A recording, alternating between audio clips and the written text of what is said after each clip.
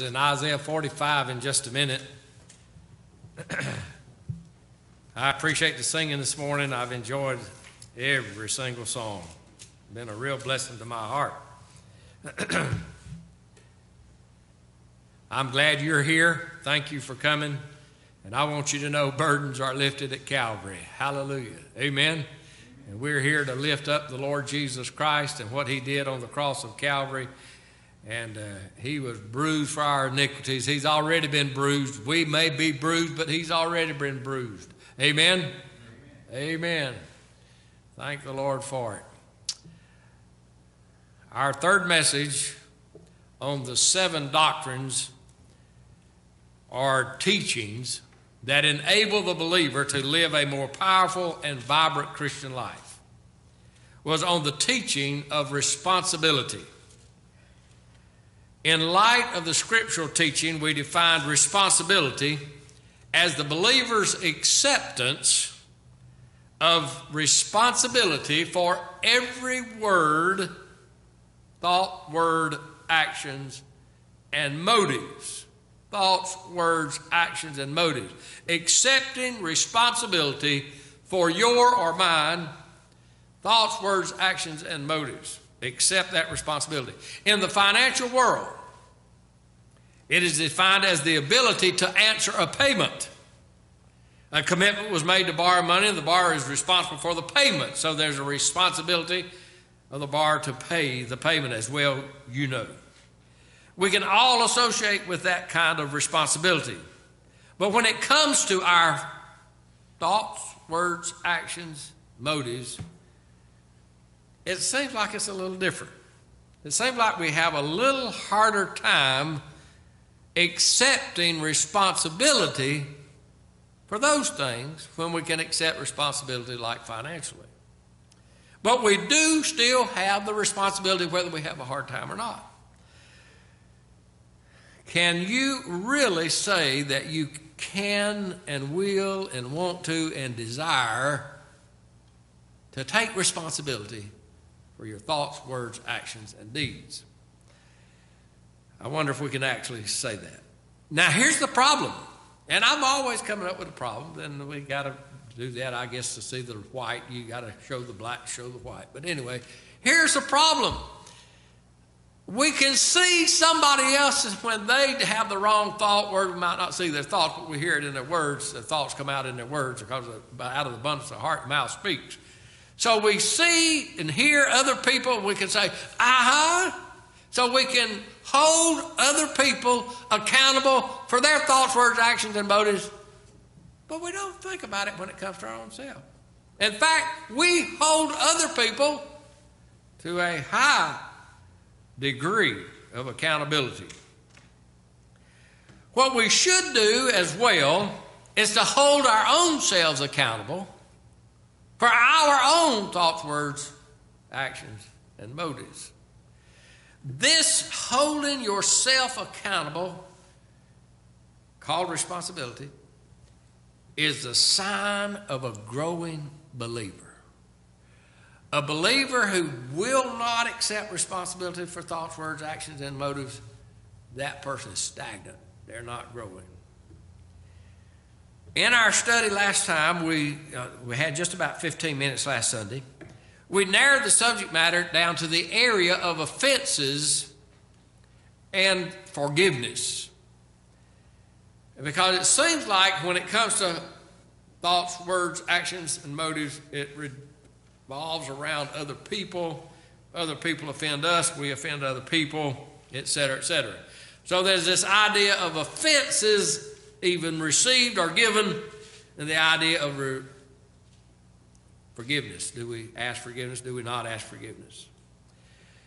In that line of thinking last Sunday, I gave you four things that we ought to do from the Lord Himself, from Isaiah 45.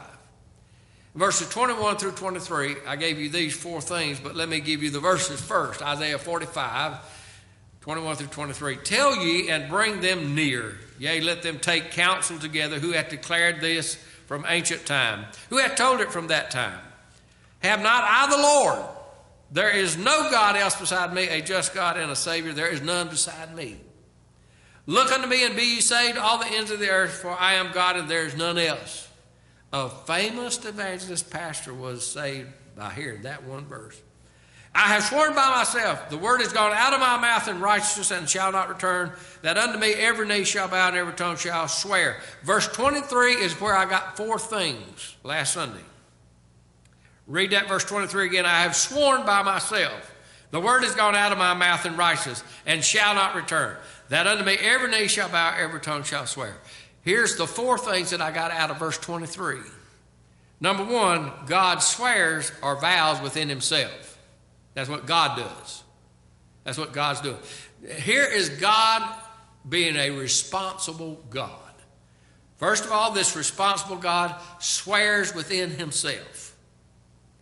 Second of all, God speaks with words of righteousness. So he swears or makes a vow or, and then he speaks with words of righteousness. And then third, he surrenders the will of others. In other words, he's not necessarily surrendering his will. We'll find that later about the Lord Jesus Christ, but not right now. But he acts in such a way that others surrender their will. So, in other words, his thoughts, words, actions, and motives causes other people to surrender their will. So he surrenders the will of others. And then the fourth thing in that passage is that he seeks the worship of others. So I didn't purposely make a outline, but it's a pretty good one. He swears within himself. He speaks with words of righteousness. He surrenders the will of others, and he seeks the worship of, of others. So that verse again says it like this I have sworn by myself, the word has gone out of my mouth in righteousness and shall not return. In other words, his word is not void, it's not empty words. These are real words that have import and importance and impact, and they don't return. That unto me every knee shall bow and every tongue shall swear. That return means in a negative way. Now that's the way we should act. We should act like God. When we accept responsibility for thoughts, words, actions, and motives, we should act like God. When it comes to uh, our thoughts, words, actions, motives, we should vow within ourselves. Say something inside of us, in our hearts, about this thing, our responsibility of thoughts, words, actions, and motives. Vow within your heart. And then we should say to ourselves, I'm going to speak words of righteousness that will not return. In other words, it's not like a rumor that boils and rolls around and around and comes back some way or another. It goes out like an arrow, goes out like a bullet. And here this word goes out and it does not, return. it is sure word. Man, we got a whole lot of things to say right there. But we should speak with right words. So we make up our mind in our hearts, we swear or vow within ourselves, and then we speak right words. And then we should make an example like God did for others to follow. In other words, when we do right, others follow suit. In other words, they will surrender their will to what we are doing. You say, Preacher, that is amazing. That a person would actually surrender their will to you because of what you are doing. It's not actually surrendering the will to you, but surrendering to God. But you can cause other people to surrender by the way you accept responsibility. There are a lot of people who have never, ever surrendered their will. I wonder about those strong wills. They have written books about strong willed child. Dobson, Dobson did. Uh, Dobson did that. And I wonder about the strong willed individual having never surrendered their will. That's a thought. I'll leave it there. But then that last part of this verse says they he desires others to worship. Eh, that every knee shall bow and every tongue shall swear. In other words, other people bow down and worship God. And so I'm asking myself, as I accept responsibility of my thoughts, words, actions, and motives, is that responsibility that I'm taking on, is that responsibility causing other people to worship God? I'm thinking about that. The Bible says accepting responsibility is a great way to lead others to Christ. The Bible says in Philippians 2:12 something like this, Work out your own salvation. Not the whole verse, it's part of the verse. Work out your own salvation in fear and trembling. Well, you say, Preacher, I don't have to work out my own salvation. God has done it all through Jesus Christ. Jesus Christ paid it all. That's right. As far as our salvation is concerned, Jesus said, It is finished. He did everything necessary for our salvation. All of it's done, it's complete. And not only has He done everything for us to be saved from hell and saved from sin, He's done everything necessary for us to have complete victory over sin in our daily life. Jesus has done it all and it's finished. He get, we have all the power that is necessary, all the grace that is necessary to live for Him. Got all of it. He's made it, it's all done. It's complete. Finished. Finished work. He said it is finished. But when it comes to us, it's not finished. He said, work out your own salvation in fear and trembling. In other words, we've got something to do about it. Well, what do we have to do?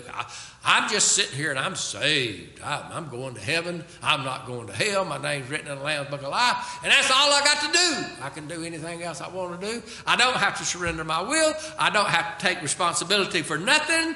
I'm saved and I'm not going to hell, and that's all I care. I just got salvation, and Jesus Christ is a fire escape. I got news for you, folks. A person that's just got Jesus Christ as a fire escape, something might be wrong with their salvation. Salvation is not just a fire escape. Salvation is a life to be lived for Christ. Amen? Amen. Amen. So work out your own salvation. He has done it all, but we haven't done it all. Our success as a believer is brought, bought and paid for by Christ. Success is a gift. Successful Christian living is a gift. But somebody's got to open that gift and use it. You can have the gift all you want to, but you've got to open it up and use it. And accepting responsibility for thoughts, words, and actions and motives is working out your own salvation. It's unwrapping the gift of salvation. The first thing we must do is to take responsibility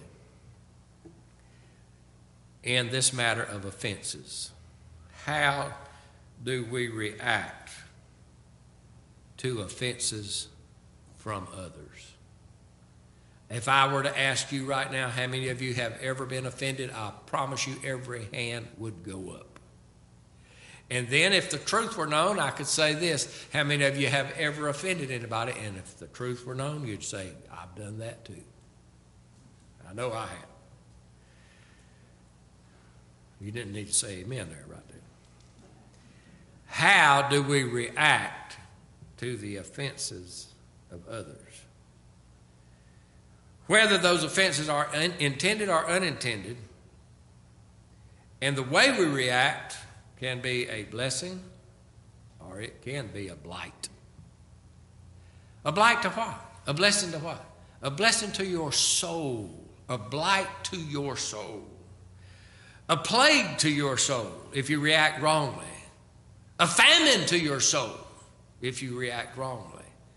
But blessing and bountifulness and joy and happiness if you react toward offenses according to the Bible. I don't know a person here that wouldn't say, Preacher, I want God's blessings. Every single one of us here would say, I want God's blessings. Well, let me give you a passage of Scripture to start with when it comes to this matter of offenses. In Matthew 18 15, here's what it says. Uh, most of you probably know about this verse. But in case you don't know, Matthew 18, 15 says, Moreover, if thy brother shall trespass against thee, that's saved when it says brother, so that's a saved person. And, and I guess you could go ahead and put that out there for anybody, but this is specifically about thy brother, the saved person. But more if thy brother shall trespass against thee, go and tell him his fault between thee and him alone. Now, I know what we do. You, you don't have to, preacher, you don't have to tell me this. I know we do it. I know, I know. We all do it. We say, somebody offended me, and I'm going to tell his fault to others. Is that what the Bible says? Go tell his fault to others? Did the Bible say that? No, it didn't say that. It says, go tell him his fault to him and to him alone. It made it clear. It said, and him alone. If he shall hear thee, thou hast gained thy brother. In other words, this is a way to gain the friendship or the forgiveness of a brother in Christ. This verse gives us a godly response when we are offended. We are told to go to that offender privately and share the supposed offense to him. By the way, a lot of people say something like this. They get this kind of backwards. They say, okay, I'm going to take that verse, and if, if I think I've offended somebody, I'm going to go. I'm going to go over to this person. I'm going to say, if I have offended you.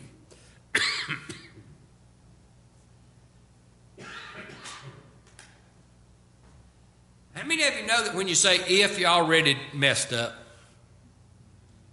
If I have offended you, you rascal, you know you did. And I know I did. There's no if about it. Don't say if. There's no doubt about it. You did.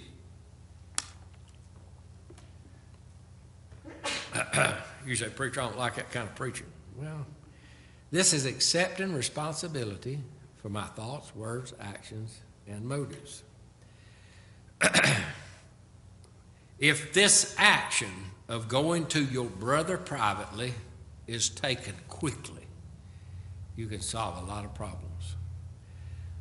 Now, why did you say quickly? Because Ecclesiastes 8.11 says, Because sentence against an evil work is not executed speedily, therefore the heart of the sons of men is fully set in them to do evil. In other words, as soon as possible go to that brother as soon as possible. Go to him.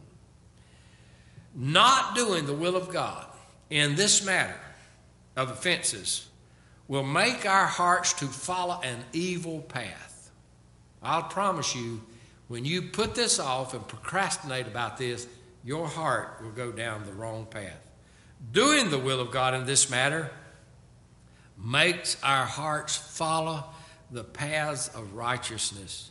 And our great shepherd said that he would lead us in paths of righteousness for his name's sake. That means for his glory. You say, I want to bring glory to Jesus Christ. Well, then follow what he said. Go to thy brother privately. you know what? When the great shepherd says, I'll lead you in paths of righteousness, the great shepherd is treating us like sheep.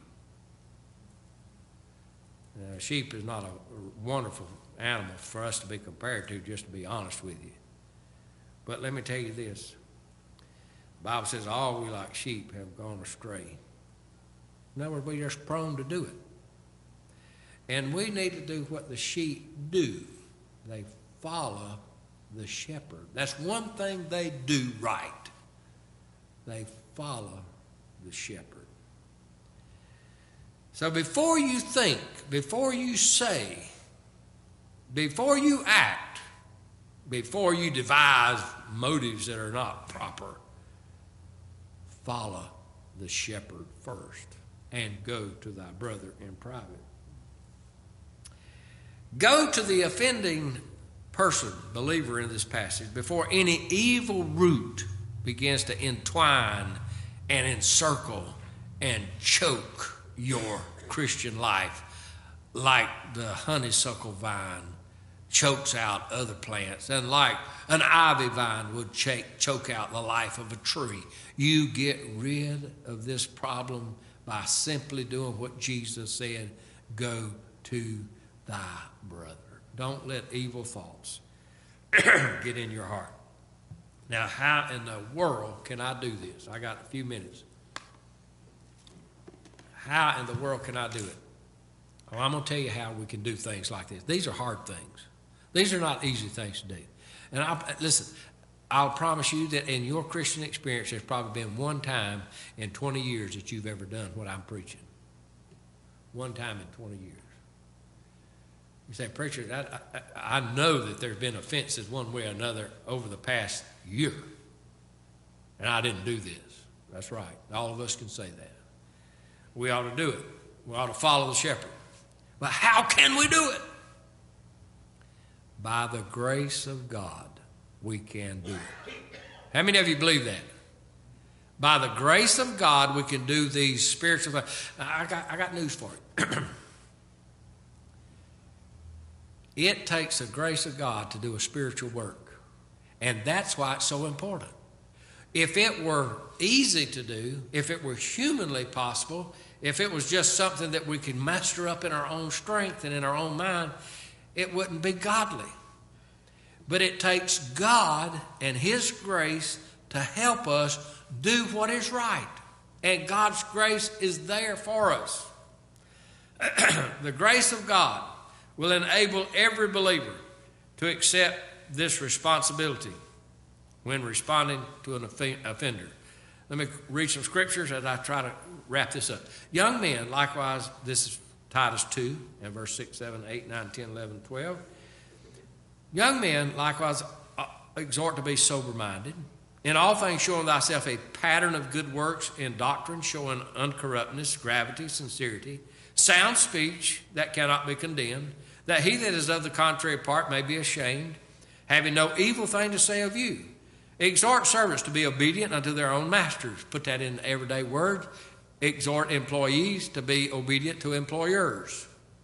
That they may, see, see, uh, and to please them well, and to please them well in all things, not answering again, not purloining, but showing all good fidelity that they may adorn the doctrine of God our Savior in all things. That's how to make God get glory. That's how to lead people to Christ by the way you act toward your employer. For the grace of God that bringeth salvation hath appeared to all men. Titus 2.11. Boy, if you don't know that verse, you ought to memorize it. Titus 2.11. For the grace of God that bringeth salvation hath appeared to all men. Salvation initially when you accepted Christ and salvation progressively as you live every day. Grace of God will help you do that. And then it says, here's what the grace of God will do teaching us that denying ungodliness and worldly lust, we should live soberly, righteously, and godly in this present world. That's what the grace of God will do. This wonderful, powerful truth of accepting responsibility for thoughts, words, actions, and motives can be done. We can do it by the grace of God.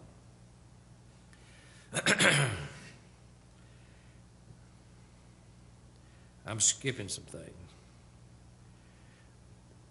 I have to get down here where my last thoughts are. How many of you remember in John chapter 21 where John uh, and Peter and Jesus were together? And the Lord says to Peter, Lovest thou me? How many of you remember that story?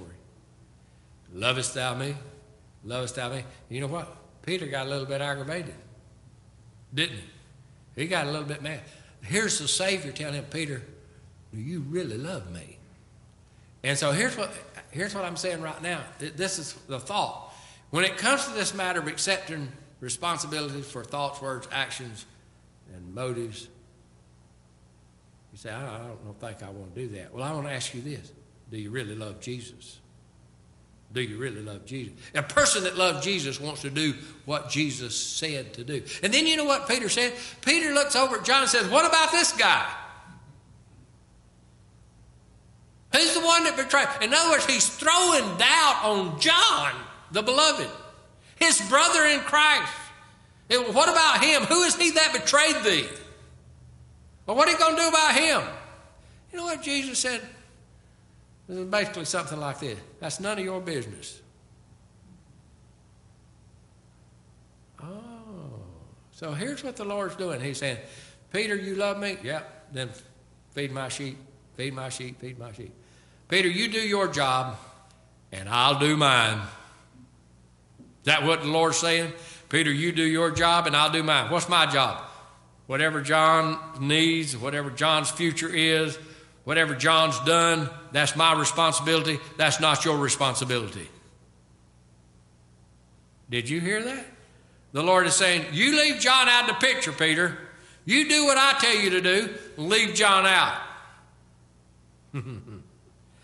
oh, but we want to be like Peter. Lord, what about that one? What about that one? What about that one?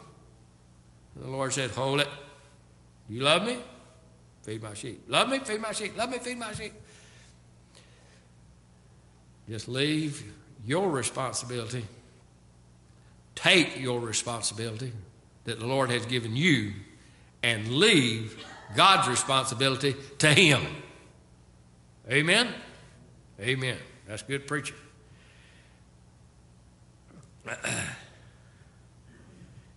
well, we sang a while ago the song, He Giveth More Grace. We sang one part of it, one verse of it. It's actually got three verses. The Bible says in James 4 6, part of it says, But He giveth more grace. He giveth more grace. James 4 6. That song was written by Annie Johnson Flint from this passage of Scripture, James 4 6. He giveth more grace. And of course, we sang some of those words.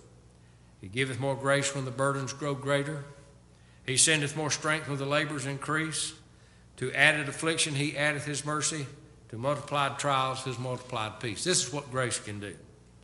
Verse 2 When we have exhausted our store of endurance, when our strength has failed ere the day is half done, when we reach the end of our hoarded resources, our Father's forgiving is only begun. In other words, when we reach the end, He just begins. I like that. That makes me want to shout. How many of you sometimes think you've reached the end? But God just beginning to work. Amen? Amen. but verse 3 is not in the book. Here's another verse, an unknown verse.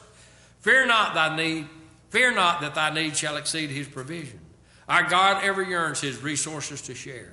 Lean hard on the arm everlasting availing. The Father both thee and thy load will upbear. And then the chorus, of course, we sang, His love has no limits, His grace has no measure, His power has no boundary known unto men. For out of His infinite riches in Jesus, He giveth and giveth and giveth again. That's the grace of God that will help you accept responsibility for thoughts, words, actions, and motives. Well, what about Annie Johnson Flint? Oh, preacher, she was probably some fantastic, wonderful, lovely, vibrant, healthy young lady. No.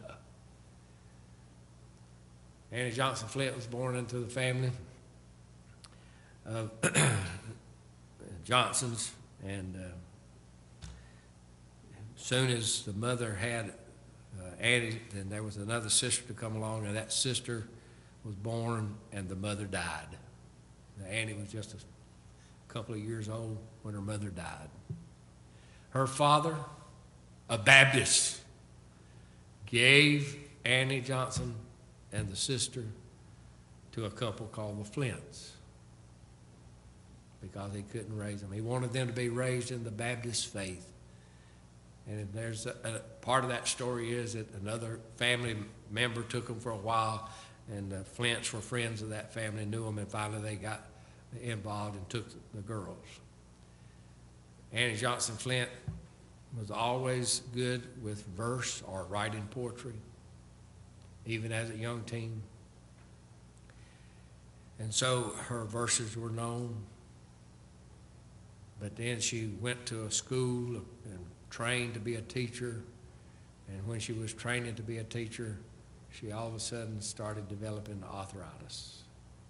Young lady. Young lady. And then, while she was developing arthritis, the Flints, both of them, passed away. And here is Annie Johnson Flint and her sister trying to make it on their own. And she's trying to write verses and she's trying to teach, but she can't because of the arthritis that's crippling her body.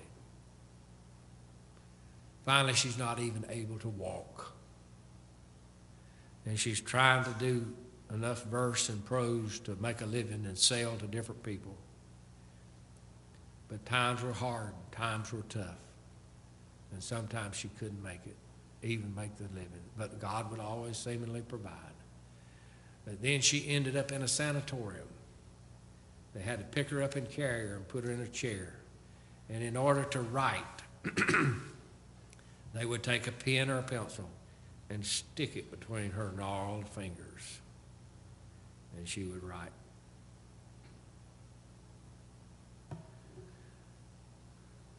That's the one who wrote, He giveth more grace when the burdens grow greater. God's grace will help you more than you can ever know. And I'll tell you what it do. Not only help you in the afflictions like Annie Johnson Flint had,